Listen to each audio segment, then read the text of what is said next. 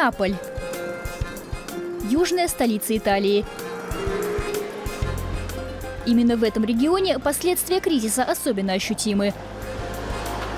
На улицах итальянского города в последнее время появился новый вид разбоя. Участились случаи, когда у доставщиков пиццы стали отбирать товар прямо среди бела дня.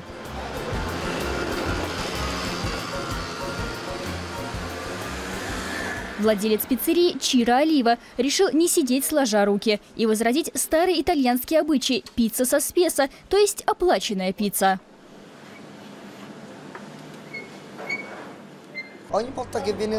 Если ко мне приходит клиент, у которого действительно нет денег, он может взять одну из этих пиц со спеса. За них уже заплатили другие посетители. Я веду счет таким пиццам на доске.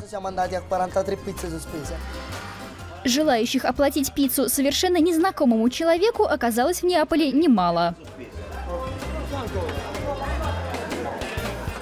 Оплатив пиццу другому, я могу есть свою без угрызений совести, ведь я же в конце концов помог человеку. Вот она, жареная во фритюре вариация классической неаполитанской пиццы. Чира Олива делает ее с моцареллой и руколой. Правда, рецепт той самой оплаченной пиццы попроще и подешевле. Слухи о бесплатной пицце со спеса быстро разнеслись по городу. Сегодня некоторым сложно себе позволить самые простые вещи, даже пиццу. Раньше она была частью нашей жизни, а сейчас для многих здесь это не дешевое удовольствие. В другой пиццерии неподалеку работает Кармине. Он изучал экономику, но не может найти себе работу по специальности.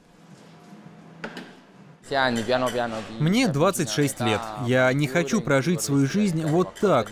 Как мне создавать семью, если сейчас кризис? Чем я буду, например, кормить моих детей? В этой пиццерии тоже идут навстречу посетителям. Так, съев здесь пиццу сегодня, оплатить ее можно через 8 дней. Я же не хочу, чтобы перед моей пиццерией, как это случалось в других районах Неаполя, посетителям угрожали пистолетом. И все не из-за дорогого смартфона или золотой цепочки, а из-за пиццы. В Неаполе можно подкрепиться не только бесплатной пиццей. Например, в кафе «Гамбринус» можно спросить бариста, нет ли сегодня у него кофе со спеса. Традиция оплачивать еду малоимущим существовала в Неаполе и раньше. Со временем она стала забываться, но кризис заставил жителей вспомнить о ней. В газетах, по телевидению, да везде только и делают, что говорят о кризисе. Это пугает нас и вообще идет в разрез с веселым нравом неаполитанцев. У нас же, в принципе, очень позитивное мышление. Мы всегда смотрим в будущее с надеждой. Забытые традиции взаимопомощи, как кофе или пицца со спеса, могут помочь в трудные времена, считают здесь. Но и в Неаполе понимают, для преодоления кризиса только этого, к сожалению, мало.